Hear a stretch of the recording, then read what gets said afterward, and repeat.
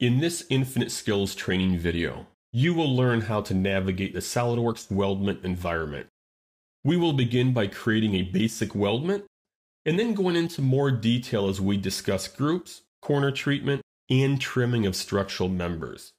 We will then discuss 2D and 3D sketches, along with a novel way to create a 3D sketch. Next, we will add plates, end caps, gussets, and weld beads to a weldment of a workbench along with a discussion on symmetry. We will then cover cut list and how to add cut list tables to a drawing. We will finish the workbench model by creating subweldments, along with creating a new part file from that subweldment. I will then show you how to create custom structural member profiles and how to avoid common mistakes when creating these profiles. We have also included four lessons for preparing you for the Advanced Weldment Certification exam.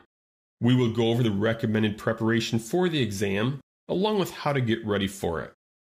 I will then share with you seven strategies I have found that work great for my students in helping them be successful in passing the Weldments exam.